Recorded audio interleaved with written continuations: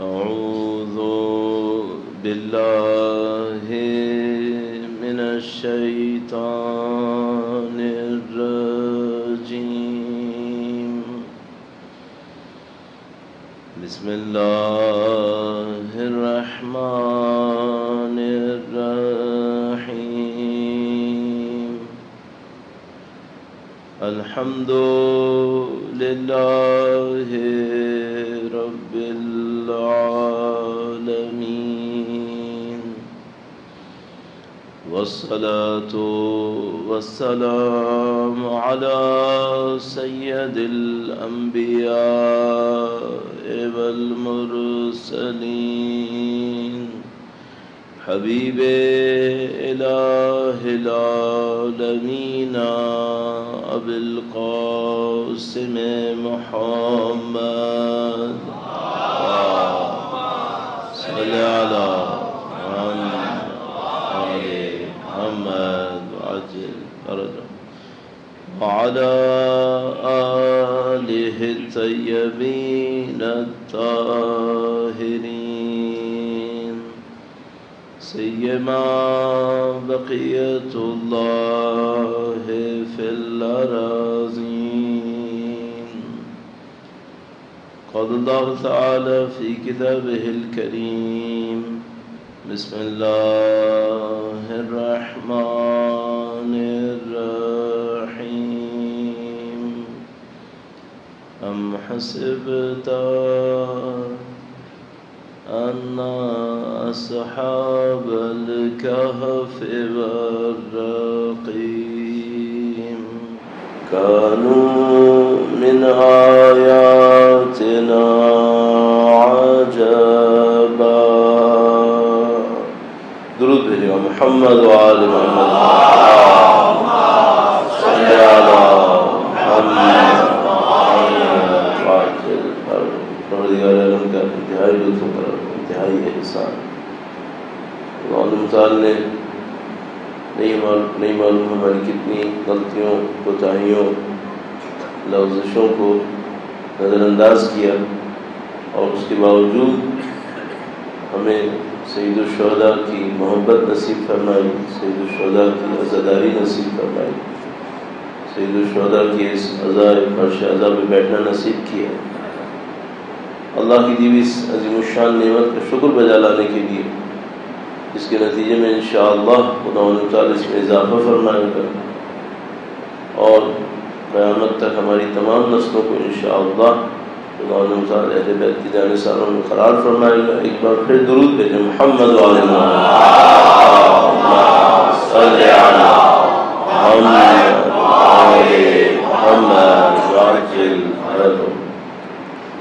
خدا نے اپنے تمام کاموں میں حکمت کا وعدہ بھی کیا، اس کی صفتوں کا تقاضا بھی ہے۔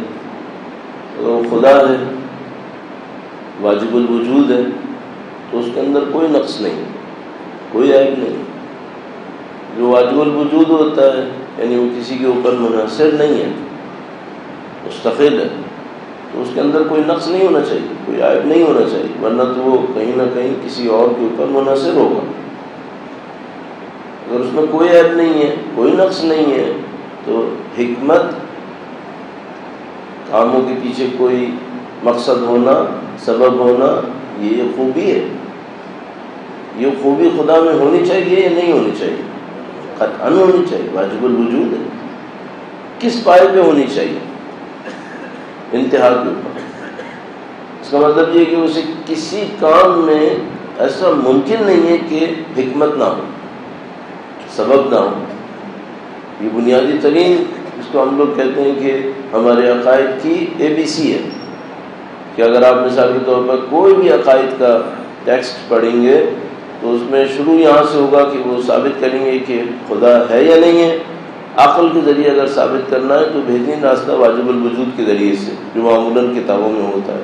اور جو فلسفی، بہت خالص فلسفی ہوتے ہیں، انہوں نے اور دلائل دیے ہوتے ہیں۔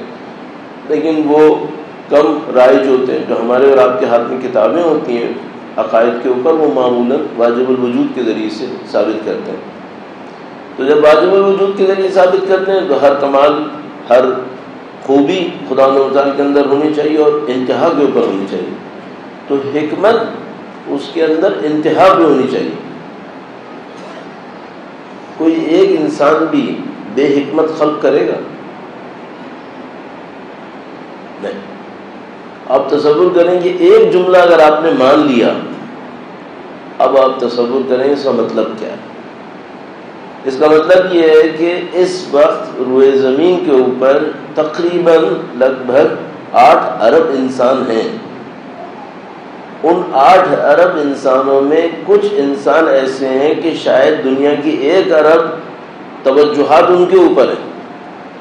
اور کچھ اسی وقت شاید ایسے پیدا ہوئے ہوں گے جن کے ماں باپ کی توجہ بھی ان پہ نہیں ہوگی۔ ان کو بھی خدا نے بے حکمت خلق نہیں کیا۔ کچھ ماؤں کی شکم میں ہوں گے جو اس وقت مرنے کے آخری لمحوں میں ہوں گے۔ ان کو بھی خدا نے بے حکمت خلق نہیں کیا۔ کچھ ناقص خلق ہوں گے۔ ان کو بھی خدا نے بے حکمت خلق نہیں کیا۔ ایک جملہ آپ نے قبول کر لیا عقائد کے اندر، اس کا مطلب یہ ہے۔ اگر یہ مطلب ہے، اب دیکھیے میں نے دنیاوی اعتبار سے جو بہت اہم تھے، ان سے شروع کیا کہ جن کے اوپر توجہ مثلا ایک ارب سے زیادہ انسانوں کی ہے، ان تک لے کر آئے جن کے وجود میں اتنا نقص ہے ظاہری طور پر کہ بہت سارے ماں باپ انہیں قبول نہیں کرنا چاہ رہے۔ کہہ رہے ٹھیک ہے ابارشن کرا ختم ہو گیا ناؤز باللہ تعالیٰ اور کتنے ہی ایسے ہوں گے اس دنیا کے اندر جن کے وجود کو کوئی اہمیت نہیں دی جاتی۔ کوئی اہمیت نہیں جاتی۔ ہم پاکستان کے اندر بعض اوقات ایسے حالات دیکھتے ہیں جس میں افسوس ہونے لگتا ہے۔ ابھی بھی جیسے ہم لوگ کو خبریں مل رہی ہیں، بلوچستان میں، سندھ میں، پنجاب میں بھی حتیٰ کچھ جگہوں کے اوپر سیلاب کی خبریں آ رہی ہیں۔ اور پتہ نہیں آج کتنی دفعہ میسج آئے مختلف جگہوں سے کہ چھتیس گھنٹے ہو گئے، اتنی سخت بارش ہو رہی ہے اور گھروں سے نکلے ہوئے، بے گھر ہوئے ہوئے۔ کتنے لوگ ان پہ توجہ دے رہے ہوں گے؟ انہی میں بیچاری مثلا فرض کریں ایسی کوئی ماں بھی ہوگی جس نے آج رات ڈلیوری کرنی ہے۔ ہو رہا ہے؟ پوری دنیا کا نظام چلے جا رہا ہے۔ اتنا عجیب ایک جملہ ہے کہ کوئی بھی بے حکمت نہیں ہے۔ چلیے، یہ سب ہو گیا۔ ہم بے حکمت ہوں گے۔ اب ان کے مقابلے میں سوچیے جن کی پیدائش اتنے خطرناک حالات میں ہونے والی ہے، ان کو سوچیے جن کے اندر نقص و ریب اتنا ہے کہ ان کے ماں باپ انہیں قبول کرنے کو تیار نہیں ہو رہے ان کے مقابلے میں خدا نے ہمیں کتنی طاقتوں کے ساتھ خلق کیا؟ کتنی صلاحیتوں کے ساتھ خلق کیا؟ وہ جو بے صلاحیت خلق ہو رہے تھے، وہ جو ایسی حالت میں تھے جن وہ دنیا میں کوئی قبول کرنے کو تیار نہیں تھا، وہ بے حکمت نہیں تھے۔ تو ہمیں جو اتنی طاقتوں کے ساتھ خلق کیا ہے، اتنی صلاحیتوں کے ساتھ خلق کیا ہے، اس میں حکمت نہیں ہوگی؟ اچھا وہ جو بغیر کسی صلاحیت کے ظاہری طور پر خلق ہوئے، وہ خدا کے سامنے نہیں کہہ سکتے خدا ہم ذمہ دار نہیں ہیں۔ اور ہم؟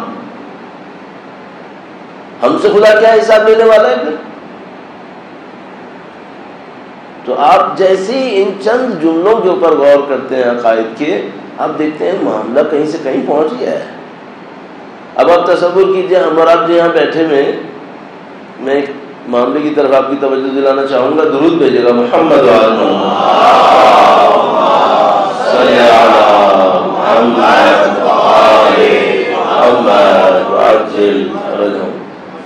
ذہن بار بار سیلاب زدگان کی طرف جا رہا ہے۔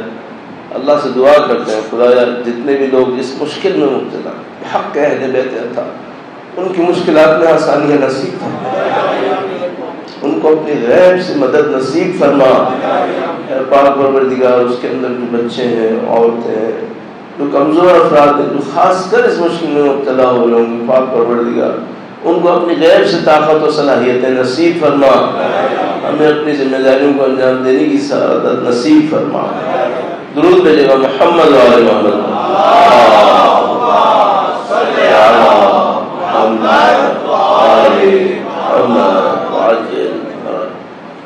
تو جن میں صلاحیت نہیں ہے، ان کو خدا نے بے حکمت خلق نہیں کیا۔ ظاہری صلاحیت نہیں۔ ہمیں تو خدا نے صلاحیتیں دی ہیں، طاقتیں دی ہیں، توانائیاں دی ہیں۔ آٹھ ارب انسان ہے پورے زمین کے اوپر اس وقت۔ اور یہ جو اسٹیٹسٹکس میں کاؤنٹ کرتے ہیں تو وہ چار پانچ سوال پوچھتے ہیں کہ بھائی آپ کے پاس رات کو سونے کے لیے اپنا بستر ہے؟ سامان رکھنے کے لیے اپنی الماری ہے؟ نل کا کھولتے ہیں، پانی آتا ہے؟ اگر ایسا ہوتا ہے تو آپ اتنے عرب سے بہتر ہیں۔ اللہ اس وقت کی بات کر رہا ہوں، قدیم زمانے کی بات نہیں کر رہا۔ اس وقت، اور جو بھی یہاں پہ میں موجود ہیں وہ آلموسٹ ہنڈریڈ پرسینٹ سب کچھ ہے۔ اتنے عرب سے آپ بہتر ہیں۔ میں نمبر چونکہ مجھے یاد نہیں، تو میں نہیں کوئی نمبر دینا چاہتا آپ کی خدمت میں کہ کیا ہی عرب سے، کیا ہی عرب سے۔ اور اگر وہ ایک سیونگ بتاتے ہیں کہ اگر آپ کے ہاتھ میں اتنی سیونگ ہے، تو پھر تو آپ چھ ارب سے بہتر ہیں۔ چونکہ لگ بھگ اتنے ارب ہیں جن کے پاس کچھ نہیں آ رہا سیونگ کے اندر۔ وہ زندگی گزار رہے ہیں بیچارے۔ تو اتنا کچھ خدا نے دیا۔ ہم سے سوال کیا کرنے والا؟ جو ہم سے خدا مثال ذمہ داری کے طور پر چاہتا ہے، وہ کیا چاہتا ہے؟ تو میں اس کو لسٹ کرنے کی کوشش کرتا ہوں۔ شاید لسٹ پورا پوری لسٹ نہ کر پاؤں، صرف ایک دو مسائل عرض کروں گا اور اس کے بعد موضوع کو بیان کرنے کی کوشش کروں گا۔ درود بھیجے گا محمد والے محمد۔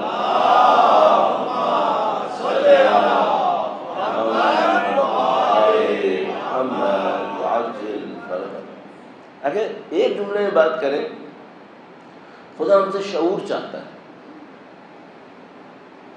اچھا آپ ممکن ہے مجھ سے کہیں گے بھائی مولانا، آپ نے یہ کیوں نہیں کہا کہ ہم سے نماز چاہتا؟ ہے ہم سے عبادتیں چاہتا؟ ہے یہ کیوں نہیں کہا آپ؟ وہ میں نے اس لیے نہیں عرض کیا کہ جب ہم قرآن کریم کی اس آئے کریمہ تک پہنچتے ہیں اما خلقت الجن والانس الا لیعبدون تو تین سطح پہ ترجمہ ہماری آنکھوں کے سامنے موجود ہے اس وقت۔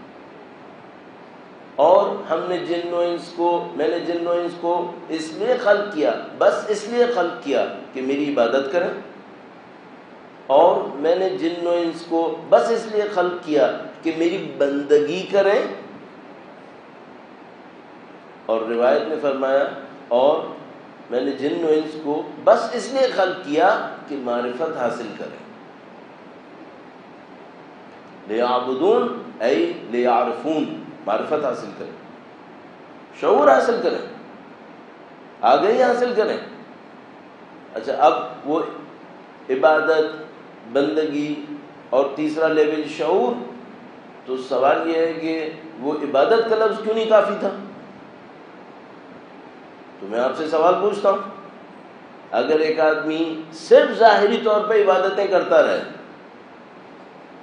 یہ آپ کے خیال میں آئیڈیل ہے؟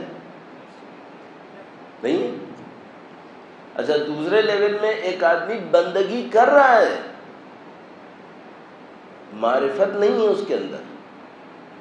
یہ کافی آئیڈیل ہے؟ نہیں۔ تیسرے لیول میں بات آئی، معرفت ہونی چاہیے اس کے پاس۔ اس کو امام نے فرمایا، عبادت کرے، بندگی کرے، معرفت کے ساتھ کرے۔ اب میں اپنے ذہن میں یہ سوچتا ہوں کہ بھائی یہ تو ابھی میں معرفت کو تھوڑا سا اگر میں ایکسپلور کرنے کی کوشش کروں، کہ بھائی معرفت کو کیا کہوں؟ بعض اوقات الفاظ اتنے رائج ہوتے ہیں، اتنے رائج ہوتے ہیں کہ ہر سننے والا، بولنے والا یہ سمجھ رہا ہوتا ہے معنی واضح مطلب بالکل کلیئر ہے۔ تھوڑا سا اس کو کریتے ہیں، دیکھتے نہیں کلیئر نہیں ہے۔ میں بہت دفعہ مثال عرض کرتا ہوں، قربتاً اللہ سے۔ کہ بھائی قربتاً اللہ اللہ سے نزدیک ہونا، بات بالکل واضح ہے، اللہ سے نزدیک ہونا، دور کے مقابلے میں نزدیک ہونا۔ تو تھوڑا سا ہم جب اس کو ایکسپلور کرتے ہیں کہ آپ اللہ سے نزدیک کس میں ہوں گے؟ ڈسٹینس میں تو نزدیک نہیں ہونا ہے۔ آپ کہیں گے روحانیت میں نزدیک ہوں گے تو پھر ہم پوچھتے ہیں بھائی روحانیت میں آپ خدا سے نزدیک کیسے ہوں گے؟ تو جب میں دل سے پکاروں تو میں خدا تک پہنچ جاؤں۔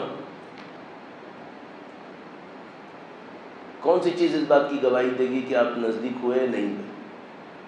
میں کئی دفعہ عرض کر چکا ہوں اس بات کو۔ تو باٹم لائن میں جا کے میں اس نتیجے پر پہنچتا ہوں۔ جو سیکھیں ہم لوگوں نے مختلف جگہوں سے، وہ یہ کہ بھائی یہ معاملہ صفتوں کا کہ اگر آپ کے اور میرے اندر خدائی سے باتیں آ گئی ہیں، تو ہم خدا سے قریب ہوئے اور وہ نہیں آئی ہیں، تو پھر قریب نہیں ہوئے۔ اچھا اب میں آپ سے پوچھتا ہوں، یہ تو میں نے جو بعض اوقات کہیں آدھے گھنٹے کہا ہوگا، اس کو سمرائز کر کے ایک منٹ میں کہہ دیا۔ لیکن کیا ہر آدمی کے لیے قربتاً اللہ اتنا کلیئر ہے کہ قربتاً اللہ کا مطلب کیا ہے؟ خدا شاید اگر کلیئر ہوتا تو ہمارے معاشرے کی یہ حالت نہیں ہوتی۔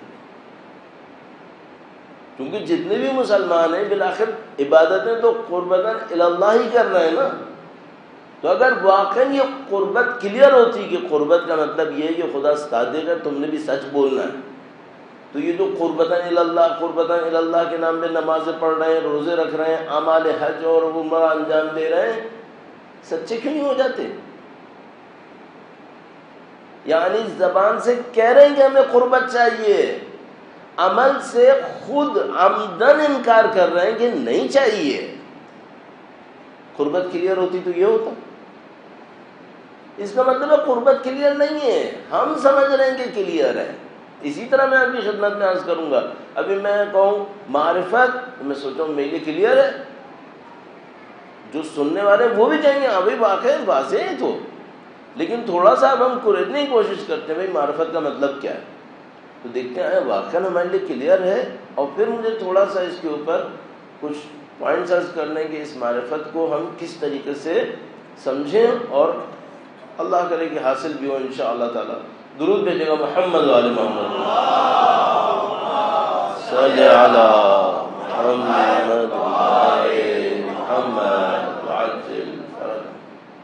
یہاں پہ اب سوال پہ سوال آئے جا رہا ہے ذہن میں۔ معرفت کس چیز کی؟ کس کی معرفت؟ ما خلقت الجن والانس الا ليعبدون. امام نے فرمایا، اے لیعرفون، تاکہ معرفت حاصل کریں، کس چیز کی معرفت؟ ظاہر ہے، اس کائنات میں جو سب سے بڑی حقیقت ہے، اور ایک معنی میں اس کے سوا کوئی حقیقت ہے ہی نہیں، وہ پروردگار عالم ہے۔ البتہ یہ جو میں نے ابھی آپ کی خدمت میں دوسرا جملہ عرض کیا کہ اس کے سوا کوئی حقیقت ہے ہی نہیں، یہ جملہ کہہ تو دیا میں نے۔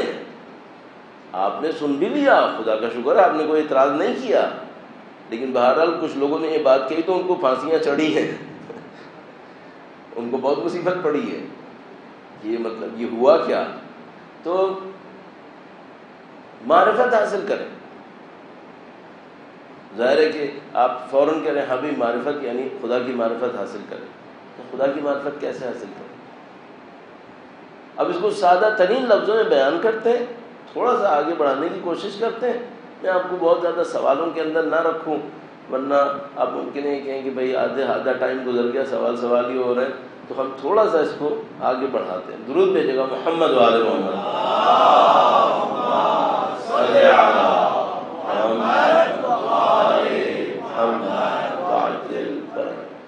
ہم لوگ جب دینی طالب علم بنتے ہیں، تو ہمیں سب سے پہلے جو درس دیے جاتے ہیں، وہ عربی گرامر کے ہوتے ہیں۔ سب سے پہلے جو چیز شروع ہوتی ہے، وہ عربی گرامر کی ہے۔ صحیح؟ اچھا بعض مدرسوں نے اس بات کو احساس کر لیا کہ بھئی یہ جو عربی گرامر سے شروع کرنا ہے، یہ کوئی عقل مندی کا کام نہیں ہے۔ اچھا وہ جو ایران جاتے ہیں، ان کو سب سے پہلے فارسی سکھائی جاتی۔ ہے ورنہ ظاہر ہے وہ تو پھر آگے ہی نہیں بڑھ پائیں گے وہاں تو میڈیم جو لینگویج ہے وہ فارسی ہے۔ تو وہ ایک ان کو بینیفٹ یہ مل جاتا ہے کہ ابھی اس سے پہلے کہ وہ عربی گرامر شروع کریں وہ فارسی شروع کر لیتے ہیں۔ جب وہ فارسی پڑھنا شروع کرتے ہیں تو ایک آدھ کتاب اس کے علاوہ بھی ان کے لیے رکھ دی جاتی ہے۔ اچھا کچھ مدرسوں کے اندر وہ یہ کہتے ہیں کہ بھائی، یہ تو ٹھیک ہے کہ ہم مثال کے طور پر لینگویج ہماری ریکوائرمنٹ ہے، ہم ان کو زبان سکھائیں۔ کوئی بھی زبان، ممکن ہے عربی، ممکن ہے فارسی۔ اور جو ایرانی میں سب پہلے ہی ہیں فارسی سیکھے ہوئے، وہ کیا سیکھیں تو وہ کہتے ہیں، ٹھیک ہے، کوئی بھی مسئلہ ہو، زبان کا مسئلہ نہیں ہے۔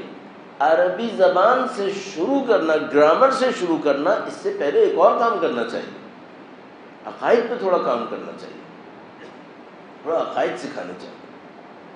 کیوں عقائد سکھانے چاہیے؟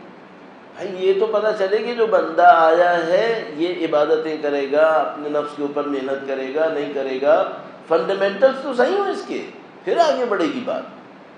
تو وہاں پر بہت سارے مدرسوں کے اندر یہ بات طے ہوئی کہ بھائی، پہلے تو یہ ہوتا تھا کہ ہم پہلے عربی گرامر سیکھتے تھے، پھر بعد میں کوئی اور بات ہوگی۔ لیکن اب انہوں نے کیا کیا؟ انہوں نے کہا، نہیں، پہلے کچھ نہ کچھ عقائد میں سے سکھانا چاہیے۔ اچھا اب الحمدللہ رب العالمین ہمارے معاشرے کے اندر بھی عقائد کی کچھ نہ کچھ کتابیں ترجمہ ہو گئی تعریف کر لی گئی تو کچھ نہ کچھ چیزیں عقائد کے حوالے سے ہمارے معاشرے کے اندر بھی موجود ہیں۔ میں آپ سے ایک سوال پوچھتا ہوں، یہ جو معرفت ہے، یہ حاصل کرنا صرف علماء کی ذمہ داری ہے؟ نہیں ارے سب کی ذمہ داری ہے۔ تو آپ نے وہ معرفت کیسے حاصل کی ہے؟ چلو میں طالب علم ہوں۔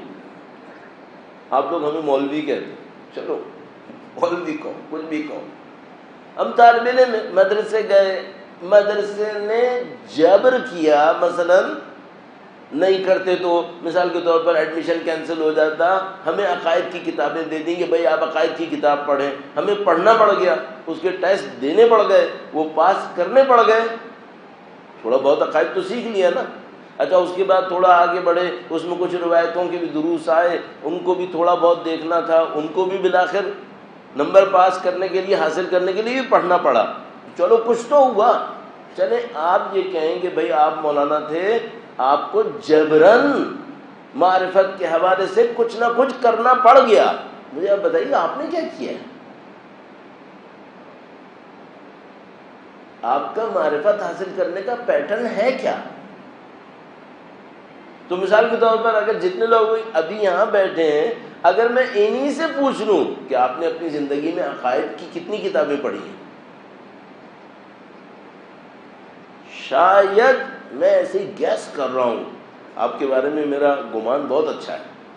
تو میں گیس کر رہا ہوں کہ شاید تیس چالیس فیصد نے پچاس فیصد نے عقائد کی کوئی ایک کتاب پڑھ لی ہو۔ تھوڑا ہائی اینڈ پہ جا کر کہہ رہا ہوں میں۔ مشکل ہے ویسے۔ لیکن بہرحال میں آپ کے بارے میں حسن زن رکھتا ہوں۔ تو میں سوچتا ہوں پچاس فیصد نے عقائد کے اوپر کوئی ایک کتاب پڑھ لی ہوگی۔ مثلا کون سی کتاب پڑھی ہوگی؟ پاکستان میں مشہور ترین جو عقائد کی کتاب ہمارے معاشرے کے اندر رائج ترین ہے، وہ آیت اللہ ناصر مکارم شرازی کی ایک کتاب ہے۔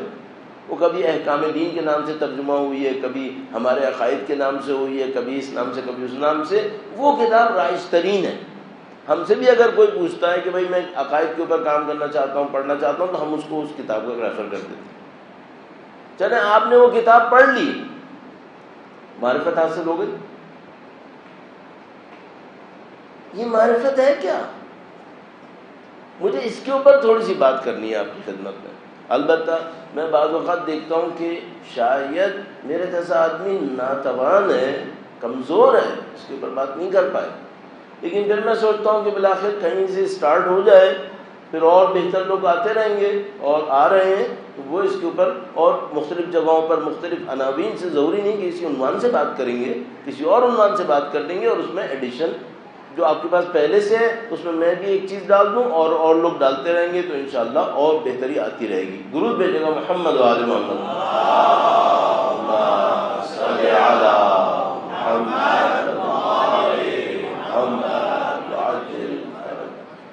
معرفت حاصل کرنے کا پیٹرن کیا ہے؟ چلیے، ایک بات ہو گئی کہ بھئی ایک دفعہ کلاسز ہوتی ہیں اسکول ہوتا ہے یونیورسٹی ہوتی ہے۔ اچھا قدیم زمانے سے یہی سب تھا؟ نہیں۔ معرفت کیسے حاصل کرتے تھے لوگ جبکہ یہ ذمہ داری تھی، پہلے بھی تھی، آج بھی ہے۔ تو اب ہم کچھ روایتوں کی طرف جاتے ہیں۔ مشہور و معروف روایت معرفت کے معاملے میں۔ جس نے اپنے نفس کو پہچانا، اس نے اپنے دیکھیے، آپ کو بھی الحمد للہ رٹی ہوئی۔ جس نے اپنے نفس کو پہچانا، اس نے اپنے رب کو پہچانا۔ تو اس روایت سے بھی صاف نظر آ رہا ہے کہ اصل معاملہ رب کی معرفت ہے۔ یہ تو کنفرم ہے۔ اس رب کی معرفت کا جو راستہ اس روایت نے بیان کیا وہ نفس کو پہچاننا ہے۔ نفس کو پہچان کہ آپ جب نفس کو پہچانیں گے، آپ رب کی پہچان تک آ جائیں گے، معرفت تک آ جائیں گے۔ ٹھیک ہے؟ نفس کی پہچان کا پیٹرن کیا اب پھر دماغ میں ایک سوال آ رہا ہے۔ میں اس کو بھی ذرا سا جلدی سے عرض کرتا ہوں۔ درود میں جگہ محمد محمد۔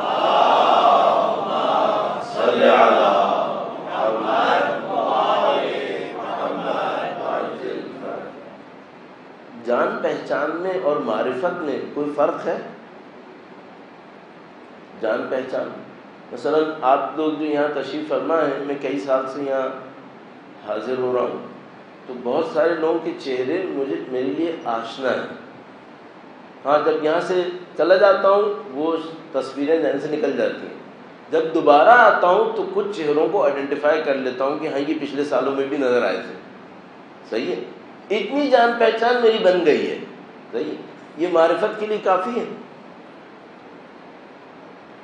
آیا یہ معرفت ہے؟ نہیں، یہ معرفت نہیں۔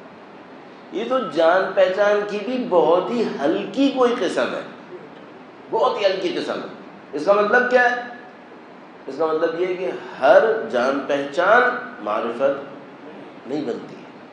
تو میں اپنے آپ سے ایک سوال پوچھتا ہوں، میری اللہ سے جان پہچان ہے یا معرفت ہے؟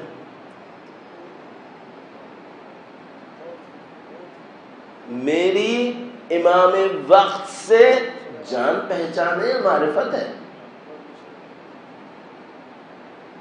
میری اہل بیت سے جان پہچان ہے، معرفت ہے۔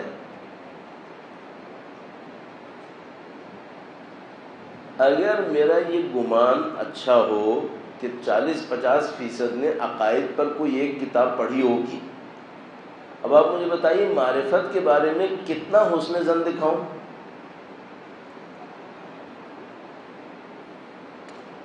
ہاں۔ تو اس کا مطلب کیا ہے؟ اگر آپ نے یہ سارے اسٹیجز مانے تھے کہ خلقت انسان معرفت کے لیے ہے، معرفت رب سب سے اہم ہے، اور معرفت صرف جان پہچان نہیں ہے۔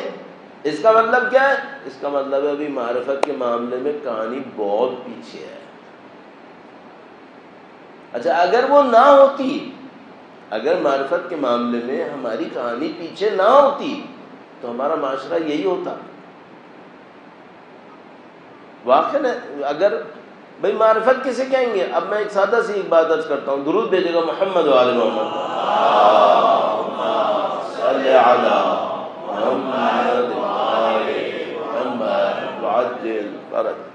بھائی کبھی ایسا ہوتا ہے، میرے سامنے کوئی شخص آتا ہے سامنے سے آگے گزر جاتا ہے، دوبارہ آتا ہے، کہتے پہچانا نہیں۔ میں دوبارہ اس کو دیکھتا ہوں۔ کہتا ہوں، کچھ دیکھا دیکھا لگ تو رہا ہے یاد نہیں آ رہا۔ تو وہ کہتا ہے کہ آپ کو یاد ہے، آپ فلاں جگہ گئے تھے، مثلا یہ ہوا تھا، وہ ہوا تھا۔ کچھ یاد آیا آپ؟ ہاں ہاں مجھے کچھ یاد آ رہا ہے۔ آپ کو یاد ہے میرا نام کیا ہے؟ نہیں یار، نام تو یاد نہیں آ رہا۔ یہ ہوتا ہے نہیں ہوتا؟ ہے اچھا کسی ماں کے ساتھ اس کے بچے کے معاملے میں یہ ہوگا؟ ہاں اس کا مطلب ہے نہیں، ماں کے معاملے میں یہ کہانی نہیں آتی ہے۔ اچھا مثلا کوئی مجھ سے کہے کہ بھائی، آپ کے، خیر، مجھ سے تو نہیں کہے گا کم از کم کسی سے جس کے پاس کئی پراپرٹیز ہوں، اس سے پوچھے کہ بھائی، آپ کے پاس کتنی پراپرٹیز ہیں؟ تو وہ گنے گا کہ اتنی ہے تو اس کے بعد وہ کہے گا ہاں ایک یاد آ رہی ہے، وہ بھی تھی۔ صحیح ہے؟ اچھا ماں سے پوچھو کتنے بچے ہیں؟ کاؤنٹ کرے گی نہیں کبھی بھی نہیں کیوں؟ حافظے سے کیوں نہیں نکلتا؟ کاؤنٹ وہ کرے جس کو حافظے سے نکلتا ہو، اس کے حافظے سے نکلتا ہی نہیں ہے۔ اس کا مطلب کیا ہے؟ اگر کسی کے اندر ماں کے برابر معرفت ہو، اس کے حافظے میں، اس معاملے میں غفلت کا کوئی امکان ہے ہی نہیں۔ ہے ہی نہیں۔ کوئی ماں، چار نہیں، آج کل کی نسلوں کے ہم وہ تین چار بچوں کو بہت سمجھ رہے ہیں، بارہ بارہ بچے ہوتے تھے پہلے۔ کوئی ماں بھولتی تھی کتنے؟ تو مثلا وہ کام کرے، ایک وہاں پہ تھا، ایک یہاں پہ تھا۔ پتہ نہیں، ایک اور تھا یا نہیں تھا؟ ماؤں کے معاملے میں ایسا نہیں ہوتا۔ شاید باپ کے معاملے میں ہو جائے۔ اچھا کیوں نہیں ہوتا؟ اس کے دماغ سے غائب ہوتا ہی نہیں ہے۔ اب میں آپ سے ایک بات پوچھتا ہوں۔ خدا کی معرفت ہے ہمارے اندر؟ ہمیں تو بار بار یاد دلانا پڑتا ہے، اللہ ہے۔ اگر معرفت ہوتی تو ہم امام وقت سے غافل ہوتے کبھی۔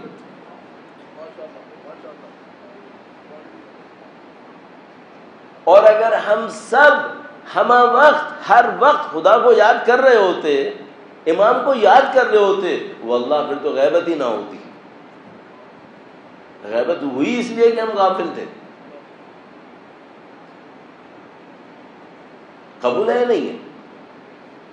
اس کا مطلب عزیزہ نے محترم کیا ہے؟ دیکھیے، میرے لیے بہت آسان ہے، آپ کے لیے بھی آسان ہے اچھا بھی لگے گا آپ کو۔ میں آپ کو بولوں، حاجی، جنتی، سب کچھ۔ آپ مجھے بولیں، حاجی، جنتی، سب کچھ۔ لیکن بھائی، سوال یہ ہے کہ وہ قبول ہے کہ حاجی، جنتی، سب کچھ صحیح ہے؟ یہ معرفت کے معاملے میں کمی کوتاہی ہے یا نہیں ہے؟ یہ ہے، ماننا پڑے گی۔ میرے اندر ہے، میں آپ کو اس لیے عرض کر رہا ہوں تاکہ میں اپنے لیے کہوں کہ بھئی یہ مسئلہ ہے ہمارے ساتھ۔ اگر ہم میں معرفت ہوتی، خدا کی یاد دماغ سے نہیں نکل سکتی تھی۔ ابھی میں نے ماں کی مثال دی ہے۔ نہیں نکل سکتی تھی۔ امام وقت کا تصور ہمارے دماغوں سے نہیں نکل سکتا تھا۔ اب دیکھیے کہاں نکل جاتا ہے۔ ایک دو مثالیں چھوٹی چھوٹی عرض کروں گا، اس پہ زیادہ وقت نہیں لگائیں گے۔ درود بھیجے گا محمد وال محمد۔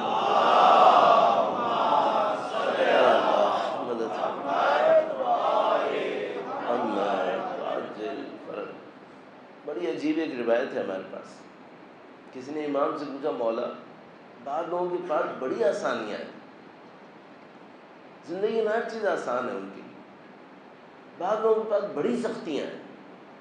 زندگی میں ہر چیز سخت ہے ان کی اللہ نے ایسا کیوں رکھا ہے؟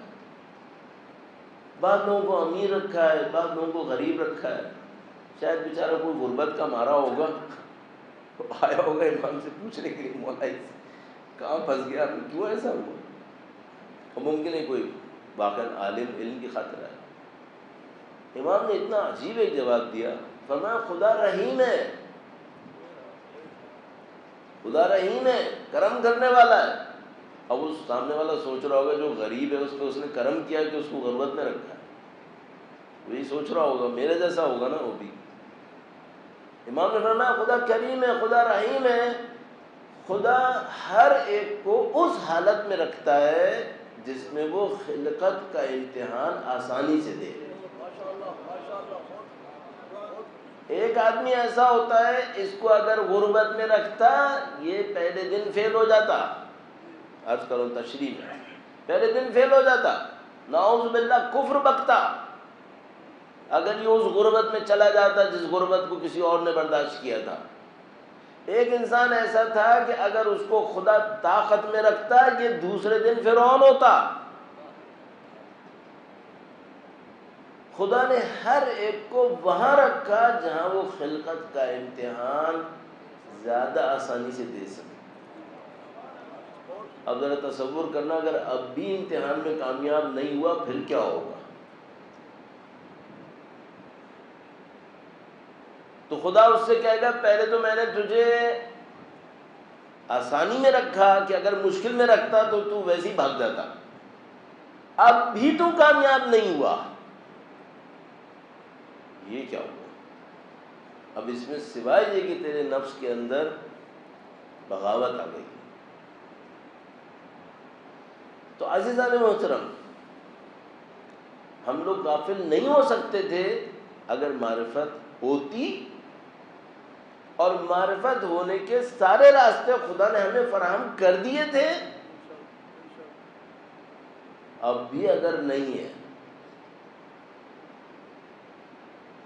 اب مجھے تھوڑا سا آگے بڑھ کے دیکھنا ہے۔ میں معرفت لانے کے لیے کیا کروں اپنے اندر؟ ٹھیک ہو گئی بات؟ میں نے کیا کیا؟ میں نے تقریباً آدھا گھنٹہ لگا کر اپنی بات کی معذرت کے ساتھ مارکیٹنگ کی۔ ویلیو بنائی۔ کہ بھائی یہ امپورٹنٹ معاملہ ہے۔ آپ اس کو اہمیت دیں۔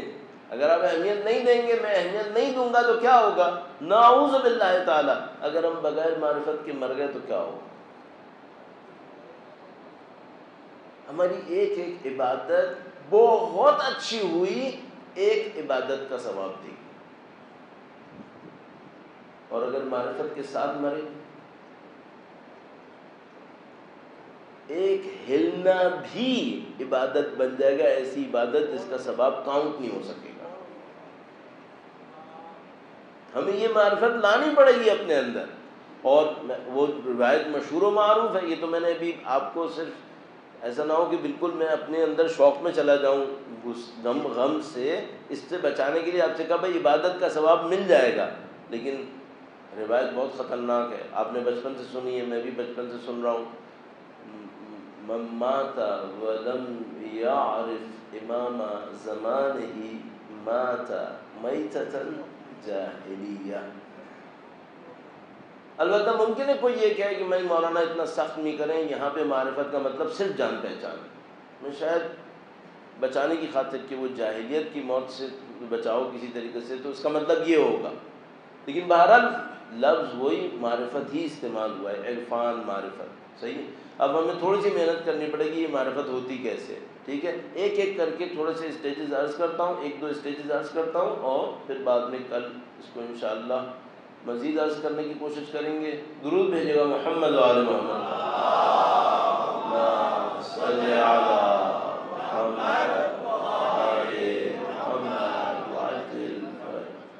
میں ایک سوال اپنے آپ سے کرتا ہوں۔ ابھی ہم نے یہ سوچا کہ شاید جو لوگ یہاں پہ تشریف فرما ہیں، انہوں نے عقائد کے اوپر پچاس فیصد نے ایک کتاب پڑھی ہوگی۔ اچھا ہم فرض کر لیتے ہیں کہ سو فیصد نے عقائد پر پانچ پانچ کتابیں پڑھ لی ہوں گی۔ پانچ پانچ کتابیں پڑھ لینا معرفت حاصل کرنے کے لیے کافی ہو گیا ہوگا۔ آپ میں سے کچھ لوگوں نے سر علاقے کہا کہ نہیں ہوگا۔ کیوں آپ نے سر لایا کیوں؟ کیونکہ آپ کے ذہن میں یہ ہے کہ بہت سارے لوگوں نے پانچ نہیں، پچاس پڑھی ہیں۔ تب بھی معرفت نہیں ملی۔ اگر صرف کتابیں پڑھنے سے معرفت مل رہی ہوتی، تو بڑے بڑے دشمن کے جو ہماری کتابیں پڑھتے ہیں، ان کو معرفت نہ مل چکی ہوتی۔ بڑے بڑے رٹو توتے پڑھے ہیں، جو کتابوں کو رٹے بیٹھے ہوتے ہیں ازبر ان کو معرفت نہ مل رہی ہوتی اب تک۔ سب سے بڑی بات یہ، بھائی، وہ کتاب تو چھوڑو معذرت کے ساتھ۔ بھائی، قرآن ازبر کیے بیٹھے تھے اور سید الشہدا پہ شمشیر چلا رہے تھے۔ ہوا ہے، تاریخ میں نہیں ہوا ہے۔ ہوا ہے۔ اس کا مطلب ہے کتاب ازبر کرنا کافی نہیں ہے۔ پڑھنا سے آگے کی بات ہو گئی نا۔ پڑھنا تو ایک دفعہ ہوتا ہے، جس نے حفظ کیا ہے۔ اور عام کتاب نہیں، قرآن کریم۔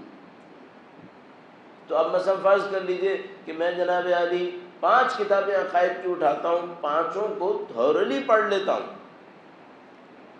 کہیں پہ جا کے اس کا امتحان بھی دے آتا ہوں۔ اور جناب علی، مثال کے طور پہ جیسے آج کل ہوتا ہے شارٹ کورسز ہوتے ہیں۔ تو مثلا فرض کر لیں، ہم نے کہا کہ بھائی ہمیں لوگوں میں معرفت کو بڑھانا ہے، تو ہم نے عقائد کا ایک شارٹ کورس آفر کیا۔ اس شارٹ کورس کے اندر پانچ کتابیں عقائد کی رکھی سب لوگوں کو پانچوں کتابیں پڑھا دیں اور ان سے پیپر بھی لے لیے اور سب کو اے گریڈ میں پاس کر لیا، محنت کروا کے۔ کیا ہم اس نتیجے پر پہنچ جائیں گے کہ جن لوگوں نے ہم سے اے گریڈ لے لیا ہے، ان کو معرفت مل گئی ہے؟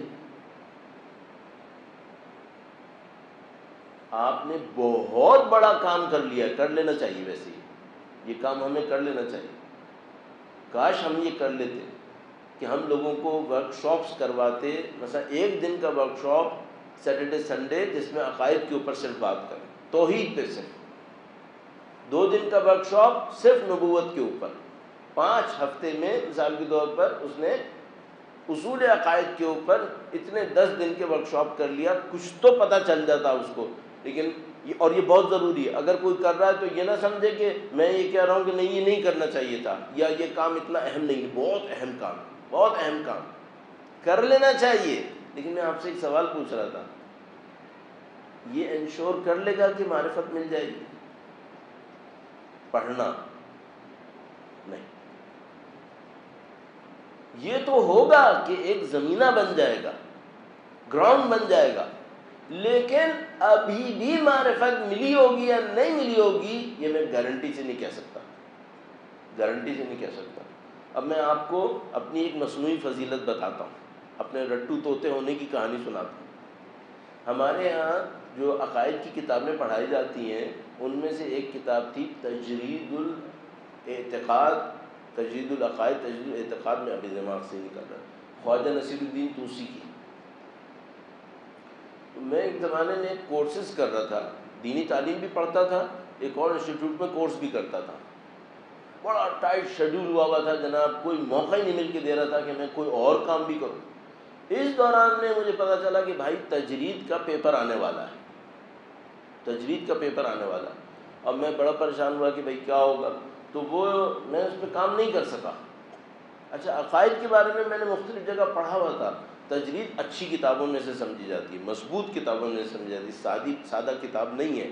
اور لکھنے والے، مثال کے طور پر خواجہ نصیر الدین توسی، خواجہ نصیر الدین توسی کا بڑا مقام ہے، بہت بڑا مقام ہے۔ پتہ نہیں کون کون سے علوم کے ماہر ہو تو جس رات، جس دن پیپر تھا، وہ اتفاق ایسا ہوا کہ وہ ویکینڈ بھی تھا۔ مثلا شب جمعہ تھی اور جمعے کے بعد ہفتے کو شاید پیپر تھا، ایسا کچھ تھا۔ تو ہمارے مدرسے میں ایک کیسٹ لائبریری ہوتی تھی۔ کیسٹ اس زمانے میں کیسٹس ہوتی تھیں، آپ کو یاد ہوگا؟ وہ پرانی چیز یاد دلانے کے لیے وہ کہتے ہیں، انا للہ ہوا انا الیہ راجعون تو ابھی وہ کیسٹ کس کو یاد آئے گی؟ تو وہ تو ہم جیسے بڈھوں کو یاد ہے کہ بھائی وہ کیسٹ ہوتی تھی۔ تو وہ کیسٹ لائبریری ایک ہوتی تھی، تو میں اس کے پاس گیا، وہ بند کر رہا تھا۔ تو میں اس کے پاس گیا، میں نے کہا ترجیح کے کیسٹس ہیں آپ کے پاس؟ تو کہا ہے کتنے لیکچرز ہیں؟ کہنے لگا مطلب بیس ہیں یا بائیس ہیں۔ میں نے کہا، دیکھو، اب جمعرات ہے۔ ویسے اس میں ایک رول تھا کہ آپ ایک دو سے زیادہ کیسٹ نہیں لے سکتے اکٹھی۔ تو میں نے اچھا وہ مدرسے کے اندر ہی تھی، وہ مجھے جانتا تھا کہ میں کافی عرصے سے وہیں رہ رہا تھا۔ تو میں نے اس سے کہا دیکھو، آج جمعرات ہے۔ تم تو بند ہی کر رہے ہو۔ جمعے کو بند رہے گی۔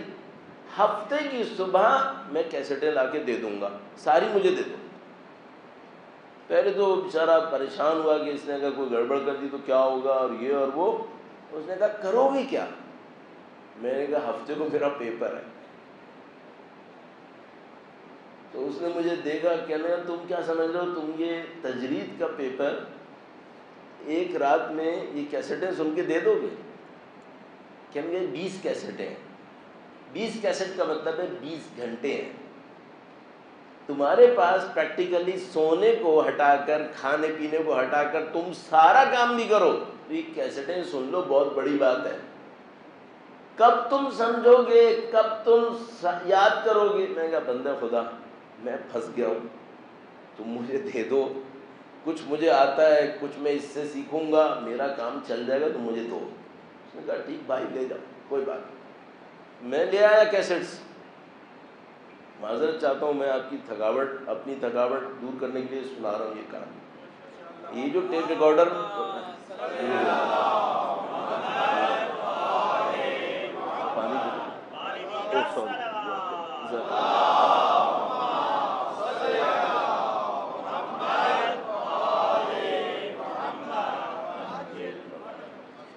اس زمانے میں جو ٹیپ ریکارڈر ہوتے تھے وہ ڈیجیٹل تھوڑی ہوتے تھے ابھی تو ڈیجیٹل ہے نا آپ اس کی اسپیڈ بڑھا دیں اب یوٹیوب پہ ویڈیو دیکھ رہے ہوتے normal one point two five one point five one point seven five double جو آپ کرنا ہے کر دیں وہ تو سارے میکینیکل ہوتے تھے تو ہم کیسٹ جب لگاتے تھے تو اس میں ہم نے دیکھا ہوا تھا کہ ایک پن ہے، اگر اس پن کو موٹا کر دو تو کیسٹ کی اسپیڈ بڑھ جاتی ہے۔ ہم نے دیکھا ہوا تھا یہ پن کو اگر موٹا کر دو نا تو کیسٹ کی اسپیڈ بڑھ جاتی ہے۔ اچھا اب وہ پن سالڈ اسپن لگا ہوا ہوتا ہے، اس کو موٹا کیسے کریں گے؟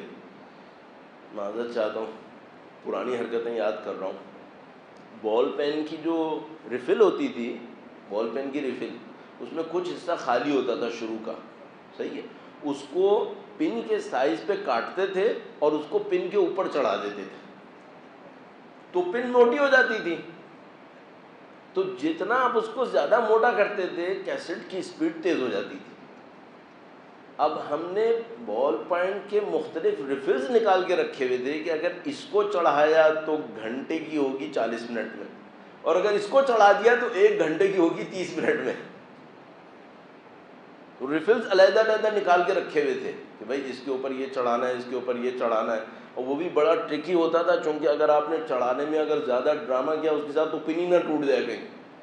تو بڑا خیال کرنا پڑتا تھا۔ پھر ایک اور مسئلہ یہ ہوتا تھا کہ بھائی وہ جو بولنے والا ٹیچر ہے، اگر وہ خود ہی تیز بولنے والا ہے اور اس کے اوپر آپ نے آدھے گھنٹے والا چڑھا دیا، تو پھر تو ایسا بولے گا، سمجھ میں ہی نہیں آئے گا کہ بولا کیا ہے اس نے۔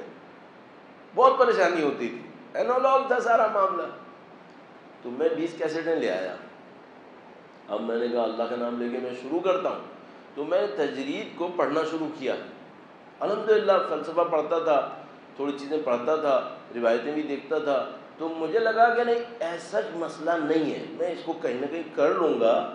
پھر میں کیا کیا کہ کیسٹ لگاتا تھا اور جہاں مجھے سمجھ میں نہیں آتا تھا، اس کو فاسٹ فارورڈ کر کے، مثلا وہی پن لگا کے، اس کو وہاں پہ اچھا وہ بھی نہیں ہو سکتا تھا۔ کہ آپ اس کو فاسٹ فارورڈ کریں گے۔ فاسٹ فارورڈ کرنے کے لیے اس کو کیسٹ کے اندر آپ کوئی چیز اٹکائیں اور اس کو تیز تیز گھمائیں۔ تو پھر وہ گھومتی تھی۔ کیا کیا حربے کرنے پڑتے تھے تاکہ آپ پوائنٹ تک پہنچیں اور آپ کا وقت جو ہے وہ بچ جائے۔ ابھی تو آپ مثلا کوئی کلپ دیکھ رہے ہیں، آپ نے ٹک کیا ماؤس کو یوں پہ لا کے آپ وہاں پہنچ گئے۔ وہاں پہلے یہ ڈرامے نہیں ہوتے تھے بھائی، بہت مسئلہ تھا۔ قصہ مختصر میں نے سارے ڈرامے کر لیے اور وہ بندے خدا جو لائبریرین تھا، وہ بھی میرے پیچھے پڑ گیا کہ میں دیکھوں اس کو نمبر کتنے ملے۔ مولا کا کرم، یہ ہوا کہ مجھے بیس میں سے بیس مل گئے۔ صحیح ہو گیا۔ اچھا اب میں نے آپ کو کیوں سنایا؟ ایک تو اپنی مصنوعی فضیلت سنائی کہ میں کتنا رٹو توتا تھا، ٹھیک ہے؟ لیکن میں آپ کو یہ بتانا چاہ رہا ہوں، کیا اس سے معرفت مل گئی ہوگی؟ تجرید میں بیس سے بیس لے لیے۔ معرفت مل گئی؟ نہیں۔ معرفت کچھ اور ہے۔ وہ معرفت کیا ہے؟ اور میرا دل ڈوب رہا ہے اندر سے۔ یہ بھی معرفت نہیں نہیں معرفت نہیں۔ یہ تو بیس نمبر لیے ہیں۔ سو سو نمبر مثلاً آپ کے حساب سے۔ اس سے معرفت نہیں آتی۔ معرفت کس سے آتی؟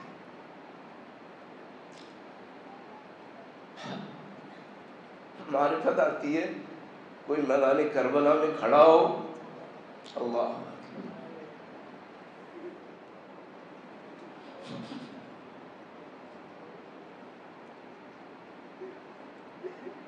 معرفة. يا سيد الشهداء مدد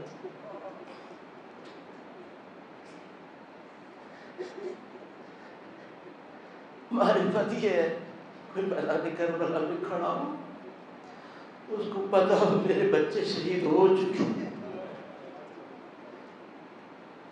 میرے آوان انسان شہید ہو چکے ہیں۔ میرے خاندان نے حسیر بننا ہے۔ میرے لاشے نے پامان ہونا ہے۔ پھر کہے رزن بے قضائی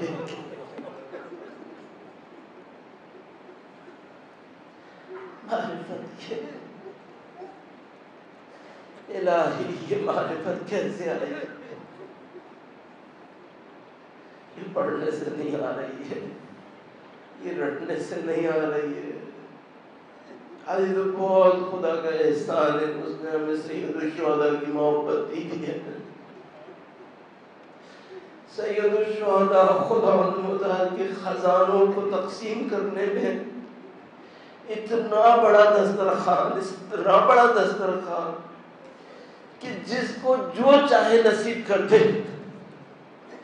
آپ کو خدا نے بتا دے سید الشہداء کی محبت سے نوالا بھائی، سید الشہداء کا ذکر ہوتا ہے، آپ کی آنکھوں میں آنسو آ جاتے ہیں۔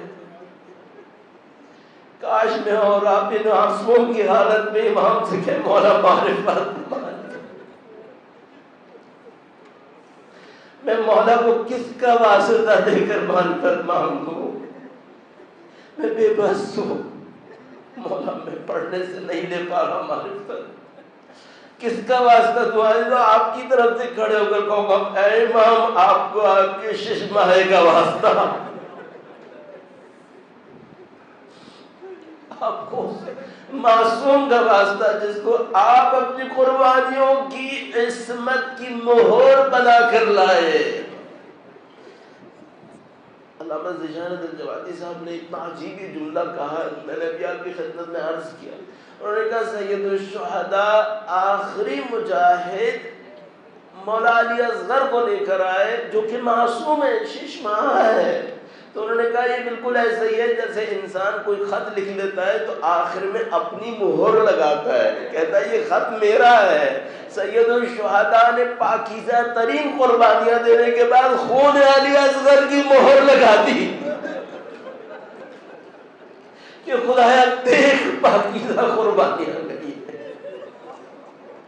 پاکیزہ قربانیاں گئی حیث مولا علی اصغر کے مسائل پر دعا حصور ہوئیں گے. آپ دل دل کے اندر معرفت کی دعا کریں گے. مولا علی اصغر کے مسائل میں کون سے حصے کو بیان کروں آپ کی خدمت میں؟ میں معمولاً اس حصے کو اپنے لیے سمجھتا ہوں، اہمیت دیتا ہوں. مجھے کہ مثلا ماں کی گود میں جب بچہ ہوتا ہے تو ماں کو بہت اچھی طرح پتا ہوتا ہے، میرا بچہ کیا مانگ رہا ہے؟ ہماری بہنیں ظاہر بچوں کو سنبھالتی ہے۔ بعض اوقات باپ کو سمجھ میں نہیں آتا، بچہ دے دیتا ہے، ماں کو دیکھ تو دیکھ کے اس کو کیا چاہیے؟ ماں گود میں لیتی ہے، بتا دیتی ہے، اب یہ بھوکا ہے، اب یہ پیاسا ہے، اب اس کو تکلیف ہو رہی ہے۔ لیکن عزیز تو یتیمہ حسین ہے۔ ان کی گود میں علی ازغر ہے، ان کو تو علی ازغر کی رنگ رنگ کا خود پتا ہے کہ علی ازغر کیا کہہ رہا ہے۔ اب انہوں نے گود میں جو لیا تو دیکھ لیا، جان لیا، پیاسا ہے۔ دشمن کے سامنے لے کر آئے، کہا، اگر مجھے پانی نہیں دیتے، اس کو کیوں نہیں پانی دے رہے؟ اب جو تیر ستم چلا ہوگا، اور مولا علی اکبر امام حسین کی گود میں تھے، اور جو تیر لگا ہوگا، اب میں گارنٹی سے جملہ کہتا ہوں، یہ تیر علی اکبر کو نہیں لگا ہوگا، امام کے جگر کو لگا ہوگا۔ کیوں ایسا ہوا ہوگا؟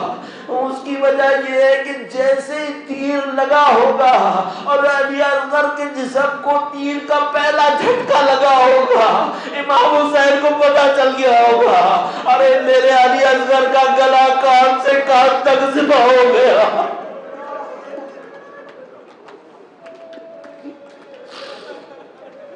عزیزو، پیاسا ہونا ایک بات ہوتی ہے، پیاسا ہونا ایک بات ہوتی ہے۔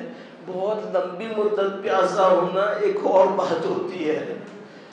پچاس ساٹھ کلو کا انسان ہو، وہ پیاسا ہو، بات کچھ اور ہوتی ہے۔ چھ مہینے کا بچہ پیاسا ہو۔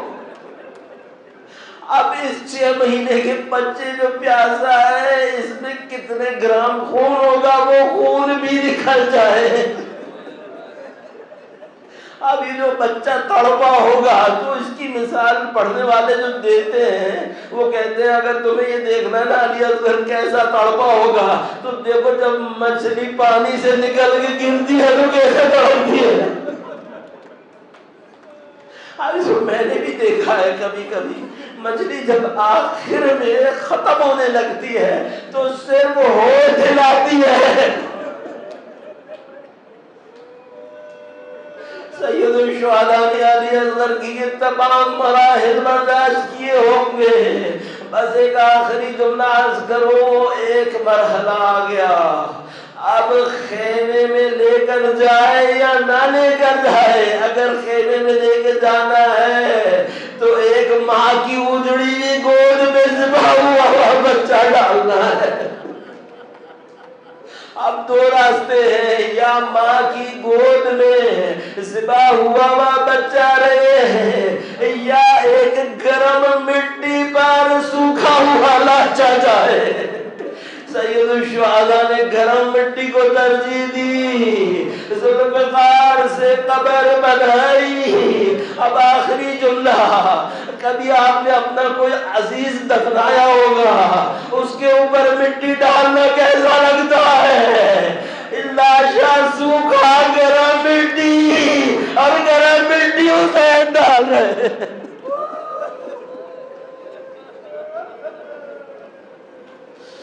تعالى لعنة الله على القوم الظالمين.